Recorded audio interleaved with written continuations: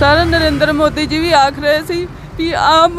लड़की बचाओ लड़की पढ़ाओ सर लड़की कैसे बढ़ेगी सर लड़की तो तभी बढ़ेगी ना जब आप काम करने देगा कोई सर काम करने तो कोई देता ही नहीं है सर स- ऐसे सर कैसे बढ़ पड़ेगी लड़की ऐसे थोड़ी बढ़ेगी लड़की आगे सर ऐसे कितना तंग करते हैं सर बहुत तंग करते हैं मेरे को इतना तंग करते सर तीन महीने हो गए सर कितना बर्दाश्त करूंगी मैं तीन महीने हो गए तंग करते को मैं पुलिस को एक बार फिर से रिक्वेस्ट करता हूँ कि एक महिला को परेशान किया जा रहा है। इसे परेशान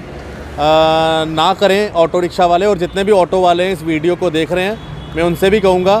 कि उनकी बहन के समान है, उनको काम करने दें और इस तरह से बीच में इनको परेशान ना करें, हरास ना करें। और पुलिस से भी कहूँगा, जो लोग ऐसे इनको हरास कर उनके ऊपर कार्रवाई हो। धन्यवाद, राम राम।